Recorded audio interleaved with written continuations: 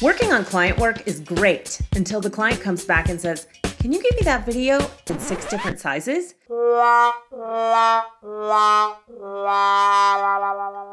Today, I'm going to share with you a way to make that process painless. Okay, what I've got here is a social sizes template. I've created this for myself and I set my After Effects up so that every time I open it, it's going to open this project file. Now, the way that you do that is you're gonna go to Edit, Preferences, New Project, and once this window pops up, you'll see in here that you can choose whether or not you wanted to open a file by clicking this checkbox. I checked it, and then if you click this button, you can browse to your project template. I browsed to this file, which I call the social sizes template. If you have a better name, and I'm sure you do, please leave it in the comments below because I like fun names and this one isn't that fun. Uh, so then once I've done that, I hit okay. And every time I start up After Effects, this file is gonna open. Now the way this file is set up is that there are three different export files. You could make as many as you want for as many different sizes as you want. I've got a 1080 by 1350, a 1080 by 1920, and a 1920 by 1080. You could easily make a 1080 by 1080 the same way.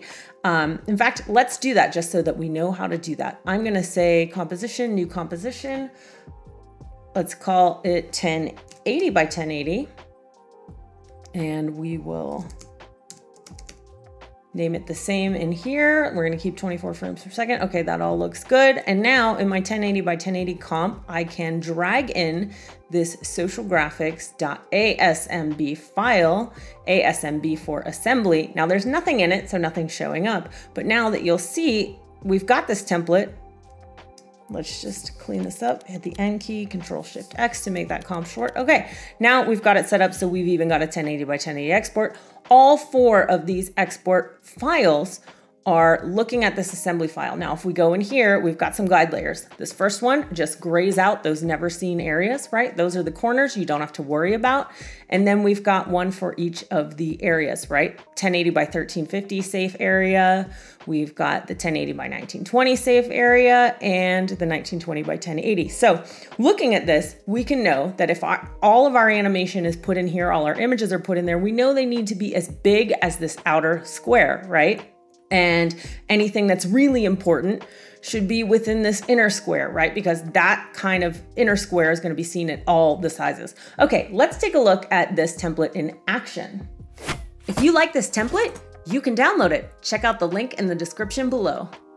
Okay, this template is the same template that I used for the Adobe Post That Pop workshop that we did earlier this year. So what I did is I created all of this animation in that assembly template, right? You'll see that there's a sun that rises and it spins, there's some stars that move around and some flowers, and that's all pretty great, right? But if you take a look at that template, you can see that in that little square post, we're only gonna see the middle, and that's okay because we designed it in this template and we added extra flowers over here for the horizontal and down here for the vertical and designed it in such a way that it's gonna look good at all those sizes with one set of animation. So this animation's got, oh, looks like 32 layers, that's 32 layers that we can use for every single export size. And now if we go into this, we can see that the 1350, we have added to that, we've right, right, our social graphics animation a assembly file is right here. We added a frame custom to this size.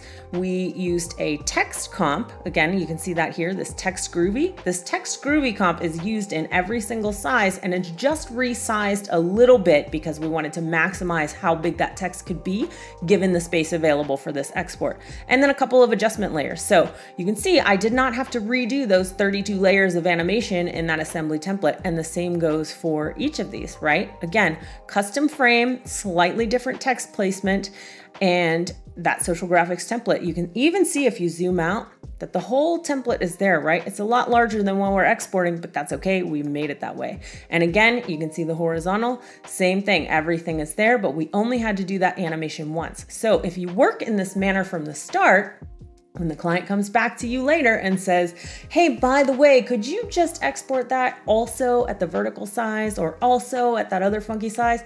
You don't really have to do any work more than just going in and making sure that you've repositioned your text, any frames, any adjustment layers, and the bulk of your animation is already done. If you enjoyed this tip, head over to schoolofmotion.com and sign up for our free level up course where you can learn all sorts of tips, tricks, and ideas for how to take your career to the next level.